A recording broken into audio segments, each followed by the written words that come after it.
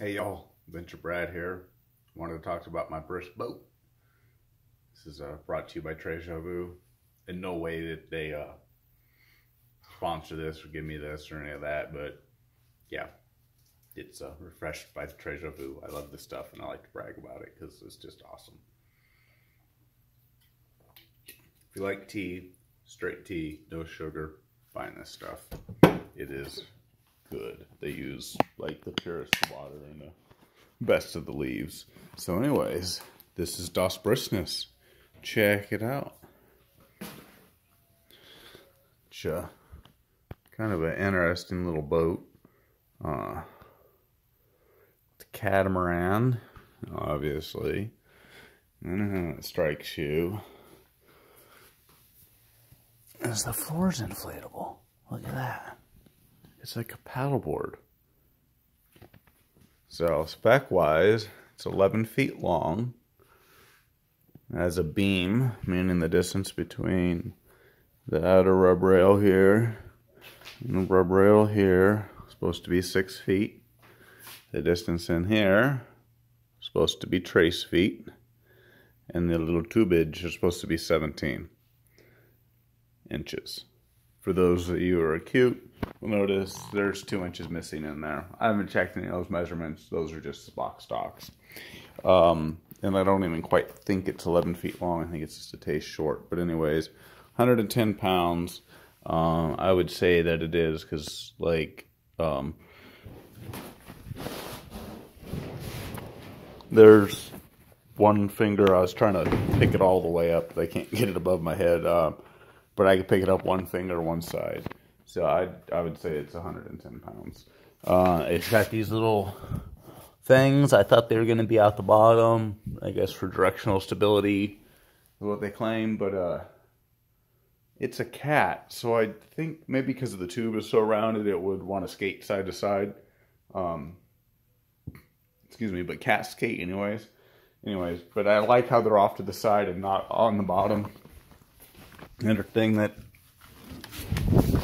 note on the bottom here is it's got these nice long rub rails. It does, you can see by the mark, kind of go down to the bottom there or to the floor. But I wish they came up just a little bit more. Um, nice open bottom, and so little waves and stuff, and lightly loaded. This is not even come close to the water. Um, you just get a little splashing in there, which would be nice. Um, this design is certainly going to be limited in bigger seas because you're not going to be able to cut much. Uh, if you can keep the bow up and out of the water, um, you might have a decent job of cutting stuff, but uh, there's going to become a point when that bow starts stuffing and you're going to be done for. But I plan to operate this on a lake. I like, for me personally, the reason why I got the open bow version over the enclosed bow, either a boxy bow or a, like the traditional V Zodiac style bow, is because now this is a swim platform. I could, you know, lean this into the stand on it and check out how strong this is. So you guys saw the distance underneath. I'm pushing the whole bow down onto the ground. The aft is up in the air, you know, foot, foot and a half. But that's stiff. It's pushing the whole thing down. But you're not going to do that in real life with an outboard on it but you're going to be kind of able to bend it down. And so if that's our water level, which would actually be a couple inches up because the tunes are going to sit in the water, um, you know, you're going to have less than a, you know, just a couple inches, four or six inches to climb up in to get into this thing. And a fairly easy over the top. Um, they didn't, I know I'm all over the place here, provide much for, uh, I wish these were angled 45 or forward or something so you could tow better. I don't plan on towing this, but if I'm in a situation where I do tow it, I would like to have something better to pull on the front uh, and also for tying down. The whole front end is one piece of material. Uh, this soft stuff here, that's just Velcro that holds the this on. I wish they doubled that up. That's like my biggest concern on this whole boat. Um, don't really want to get into a lot of the gripes, but yeah, none of this was really glued well. Um, I got in here with some more glue. I'm waiting on more glue and material to show up. Um, I was really kind of like this here. There's two, for the most part, you know, it's only a Chinese boat, and that's what I get for buying Chinese. But there's like, seems like two levels of craftsman, because for the most part, like these are a little dented here. They didn't quite get that right. But for the most part, the level of craftsmanship on these things is pretty dang good. Uh, you know, considering the boat's like $900. But so anyways, the whole strength of the boat is here. they say that it's not an X-Cat. And if you guys don't know what an X-Cat is, I didn't know what it is until they actually mentioned it in this product. And I was like, oh, what's an X-Cat? Looked up an X-Cat, as you should too. They're really cool. But they're like, this is not an X-Cat because it doesn't have sponsors. Yes, the word sponsors, which I think they mean sponsons, which, anyways, we're not going into boats or any of that right now. But it, yeah, sponsors. And it doesn't have a fiberglass wing. Well, sponsors, I thought those are just stickers that you put on your car that, you know, everybody gets, like the little five mile an hour plus horsepower NOS sticker. No, you could you could get sponsors real easy. I could have my neighbor sponsor me, but hey, dude, you want to sponsor me a quarter to run my boat? And I write his name on it. I'm sponsored. Professional racer, yo. Um, a lot more than he's pros, as most people claim. Anyways, tangent. Uh, and fiberglass wing. I ordered a fiberglass wing on Amazon. I'd be like a little Honda racer. Speaking of which, I have a canopy on the way, but whatever. So yeah, back to the real thing. Um, I'm not super excited about how weak the front end is, but at the same time, I don't plan on like teeny bashing this thing or going nuts. But back to the overall stiffness. This is like a paddleboard on the bottom, and I'm somehow tracking aluminum shavings on here because most of the time this is a shop. Um, but look at this. Like I am standing on this. I'm only about 145 pounds. I'm not huge, but I could jump on this pretty readily, and it you know it flexes some. But for uh, yeah, like here, I'll just show you guys. You put it down.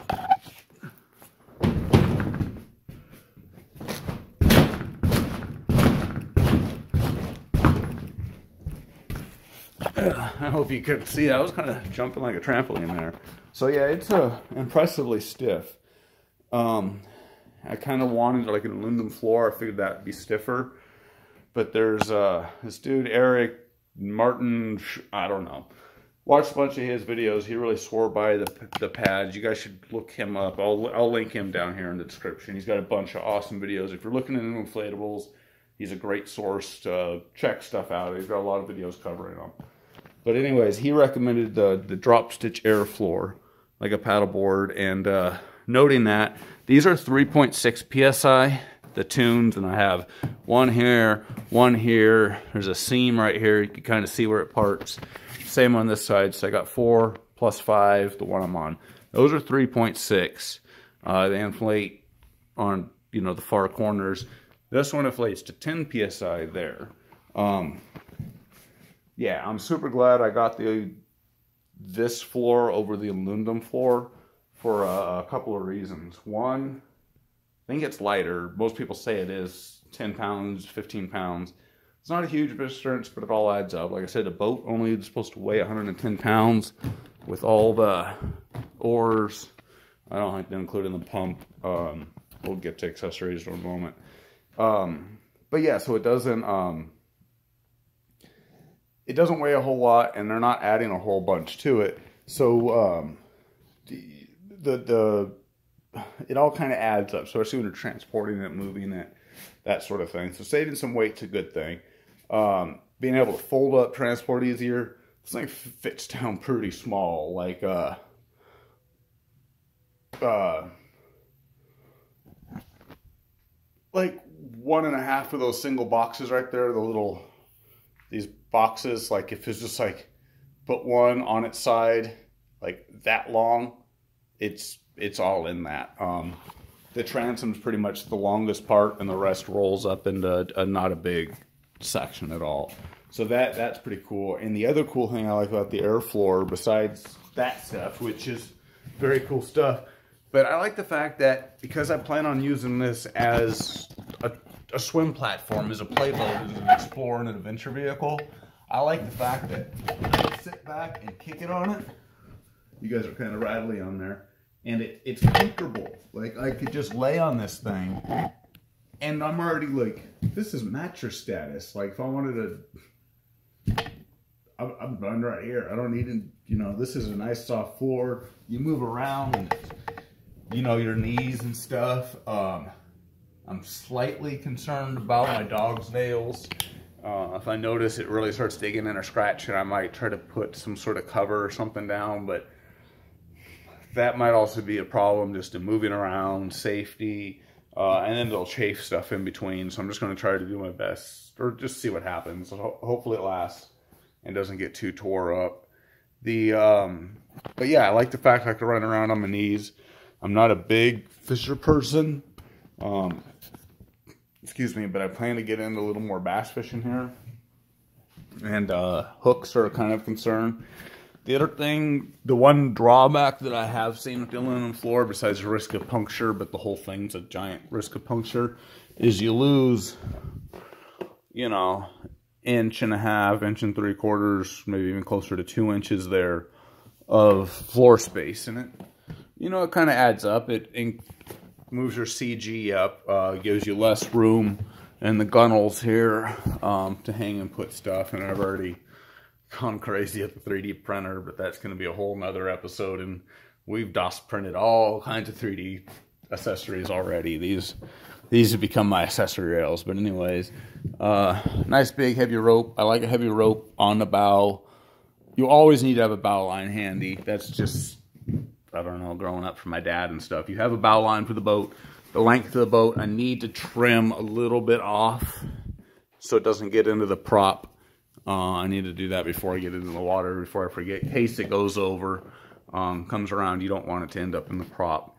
But a big heavy line, it's that way it doesn't get twisted up on somebody, cut into them, that sort of thing. Something you can handle, something you throw off on shore, tie around stuff.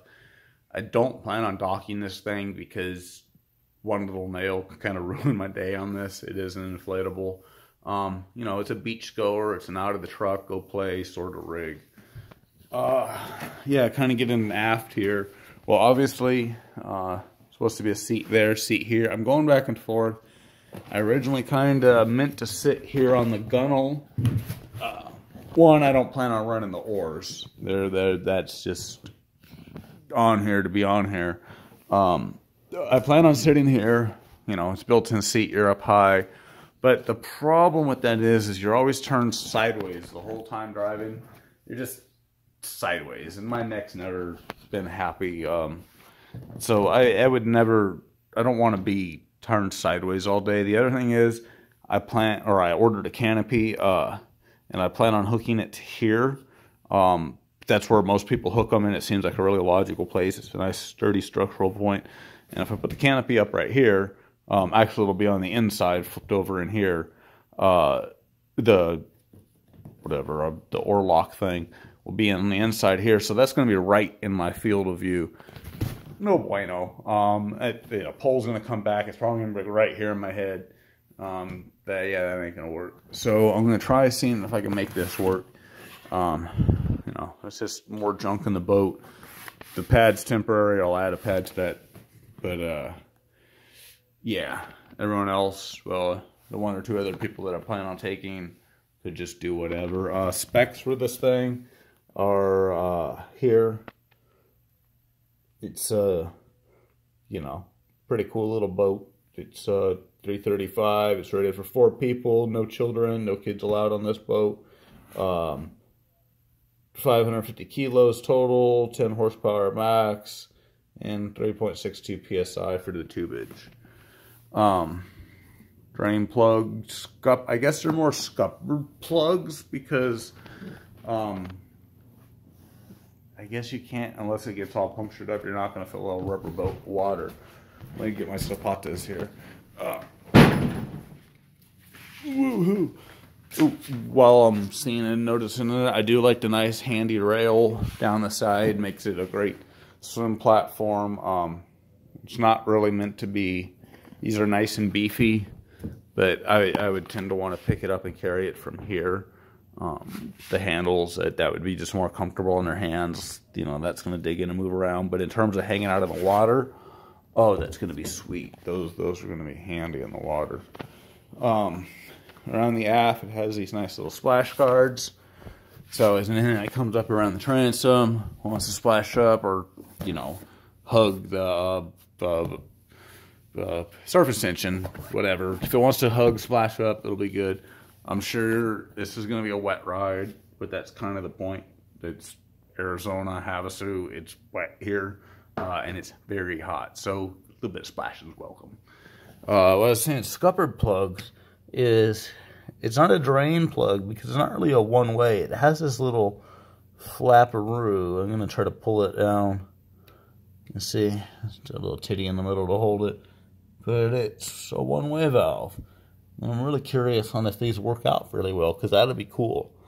Uh, the nice Takacat version, if you guys want one of these cats and you want a nice one, get a Takacat, or if you're down in New Zealand, uh, it's called a True Kit. Those are real nice, but the Takacat actually has an open transom, uh, stainless steel kind of a framework.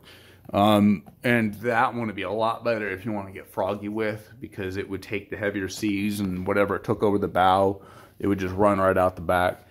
If that becomes a problem with this, uh, or if you want to get excited with yours, you could hole saw, you know, a hole or two. You'd want to keep them, you know, don't don't take away too much. You'd want to keep a couple inches all the way around. But a nice round hole structurally won't hurt anything. You could probably one larger one or multiple smaller ones or stagger them would be the better idea. But uh, there'd be ways that you could help dump water over in a hurry. Uh, loose gears also going over, escaping out the back. And then when you're just also at anchor or like I plan on doing, running this thing up on the beach, any of the higher waves that are just going to be splashing against the back here, um, because this, this be probably fairly out of the water, it's going to run right back up into my boat and everything that's on shore and all the dirt, and that'll just be a big mess. So uh, we'll get we'll cross that when we get there. The rub rails around the side have these nice little ring-a-dings here. Um, yeah, I think that's kind of covering it for the boat. It comes with uh, this kind of weird at first two-stage pump. I had these little plugs in here uh, just to keep some dirt out, and it's apparently half good. Uh, there's two billows in here. This outer billow and then an inner billow. The outer billow is high volume. Um, so if and that's capped off by this plug, and this is the uh, the out. So this is the one that you hook to the boat, and this is the one that you leave open. Or if you're going to deflate, you move the hose from here to here. Um, it does have this cool. That's what I was taking off at the beginning. Hook um, I do like integrated stuff like this that hooks top and bottom from there to there. Um, the hook is a pretty nice feature. Rubber gasket, ring-a-ding-ding thing. So it goes to 4.4 PSI here with the plug-in using the external billows. But then when you pull this plug, uh, it just lets those ones bypass or back to atmosphere. And then when you step on here, uh, you can actually see right down in there, there's a second set of billows and you could feel them. I guess uh, I, I don't have enough hands, you know, all those mutations you can be born with. But when it's plugged here and going to the boat, you could actually reach in, like if you step on it, you could reach in, you could feel the second set of billows, inch and a half, two inches in there. Uh, the, being smaller diameter, uh, over the same workload, uh, you could get this a higher pressure. So for the one set uh, plugged up here, you go to 4.4 psi, which kind of sucks. It's not the 3.6 that is required. But then you go to 14.7 here, which is also not the required PSI for the 4. So that's kind of a big fail there, guys. Um, I went out and bought an electrical pump. Super stoked on the thing. It's noisy, but it's kind of be expected. But anyways, I'll go into that in a separate video. Um, definitely, if you guys are evolving into this stuff, I'll carry this thing. This will be like my camper one, my backup one. Like if I go on a trip, if I'm going out with friends, I'll throw it in the boat. If I'm like really going adventuring, I'll maybe take it with me.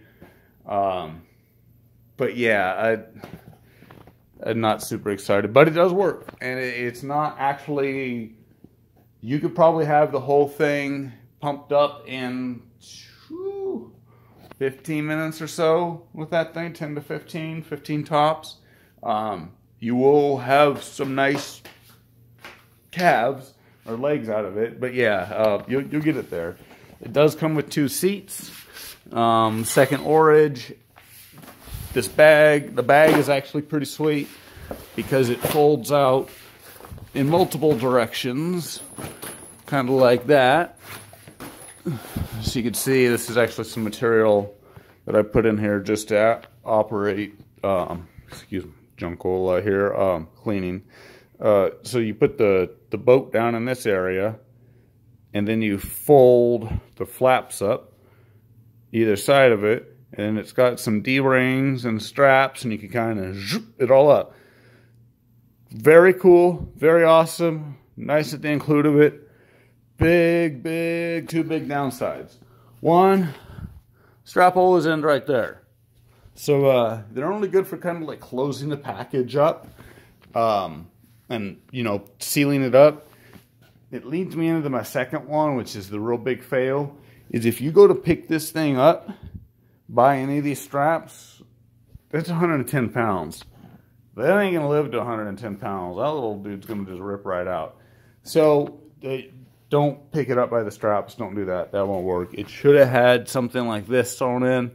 It was a nice loop, you know, one continuous. Obviously not continuous. There's a break in it somewhere here. But I actually had these sewn up for me. Um, a, a really cool dude here, Michael, that I sail with in town. Um, but yeah, these, uh, is, or I had to see there's a break. But that's a lot more heavy duty to do things. But anyways, that's my Bris boat. Um, yeah, remember that it's a $800 or wait, um, $950 eBay plus tax special. State I live in Arizona. It was $20 to zero to register it. The stencil cost, the amount of masking tape, and the paint is equal to that $20 that I paid to register it. So that's pretty stokage. Um, got a brand new motor showing up for it. You guys will see an unboxing video of that. I'm going to put this all together, get her wet, and let you really know what I think out on the water. But this has been my initial unboxing, so you guys enjoy. And uh, always remember, keep your powder dry, mind that top knot, Pilgrim.